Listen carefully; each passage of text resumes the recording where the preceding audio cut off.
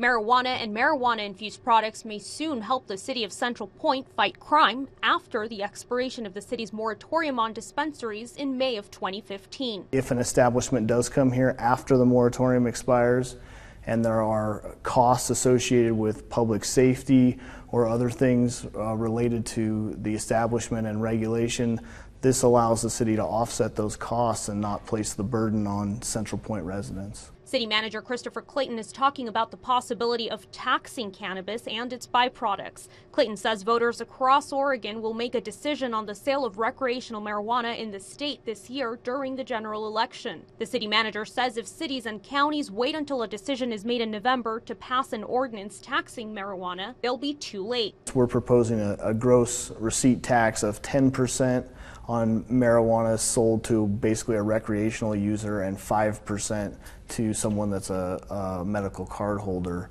That's exactly the same tax rate that Ashland passed. According to an economic study by ECONorthwest, a Portland financial consulting business, marijuana regulation in the state would generate $38.5 million in tax revenue in the first year of sales. That's if cannabis is taxed at $28 per ounce. Meanwhile, Clayton says there's a very small chance the move he calls precautionary may end up in court, but says it's highly unlikely. As long as the tax is not so excessive or so punitive that um, it's just completely unreasonable. Covering your news in Central Point, Jessica De Nova, News 10.